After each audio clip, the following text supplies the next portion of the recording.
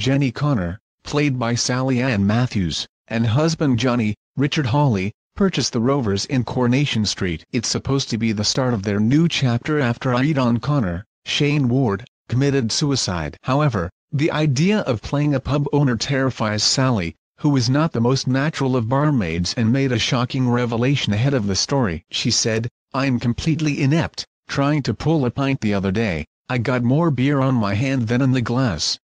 I'm getting better but would be rubbish working in a real pub. Sally and John are set to steal the Rovers from under Gemma Winters, Dolly Rose Campbell, knows in the hope it will help them deal with the grief of losing Aidan. But in the process they upset Gemma, who was promised the pub by her ex-boyfriend Henry Newton, George Banks, to win her back. Speaking about Gemma, Sally told What's on TV, Gemma is really upset and Jenny can see the hurt in her face as she knows how much the pub means to her. Gemma is heartbroken and Jenny does feel really bad but Johnny needs this more. In an attempt to smooth things over with Gemma, Jenny will offer the youngster a job at the establishment. Jenny also hires her husband's secret fling Liz McDonald, Beverley Callard, but will she find out about the pair's affair?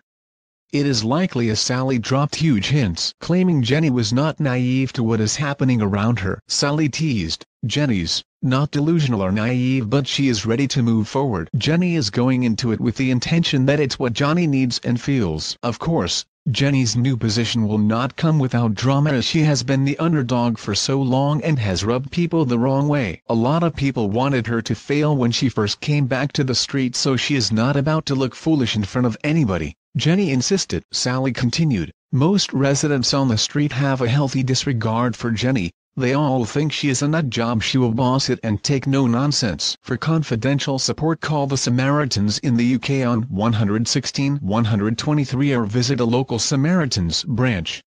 The secret is, don't cross her. Coronation Street continues tonight on ITV at 7.30 p.m. and 8.30 p.m.